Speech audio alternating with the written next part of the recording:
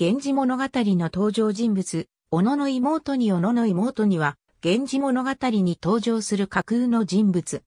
横川の宗図の妹であり、比叡山の西坂本の小野に居住している尼であることからこの名称で呼ばれる。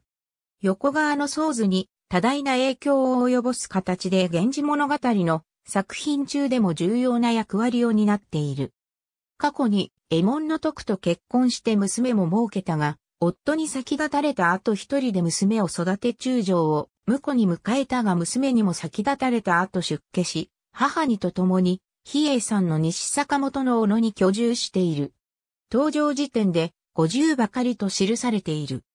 浮船を中将と結婚したが死んでしまった娘の身代わりだとして喜び、浮船を娘の夫であった中将と再婚させようとしており、中将もその気になって浮船に歌を送ったのに代わって変化している。囲碁好きで、ソーズと打って勝ちほどに強い。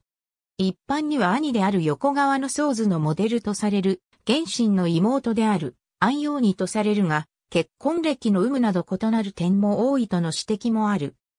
なお、一部の固形図において、この、小野の妹にのことを、源氏物語の本文中には使われていない、安陽にの名前で記されているものがあり、そのような固形図は、安陽に本固形図との名称で呼ばれている。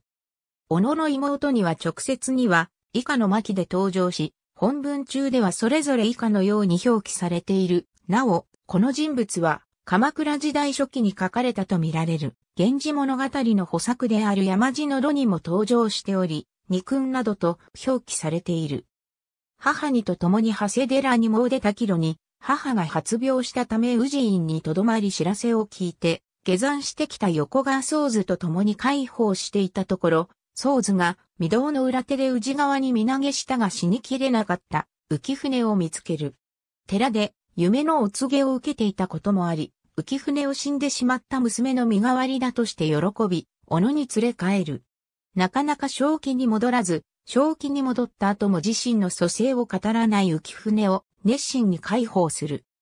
娘の夫であった中将に浮船のことを語ると中将が関心を示すようになって歌をよこすようになるが、二自身も浮船が死んだ娘の代わりに中将の妻となることを望み、関心を示さない浮船に代わって中将への変化を代筆したりする。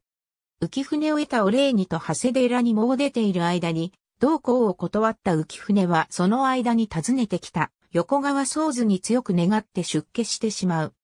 帰ってきたにはこのことを知って悲嘆するが、結局にとなった浮船の身の回りの世話をするようになる。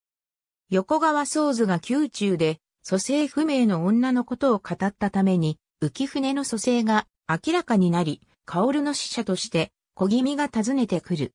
には浮船に薫と会うことや返事を出すことを勧めるが、浮船はいずれも拒否したため小気味は手ぶらで帰ることになる。小気味がしばしば訪ねてくるようになり、その後、薫や浮船の母も訪ねてくるようになり、その応対をする。ありがとうございます。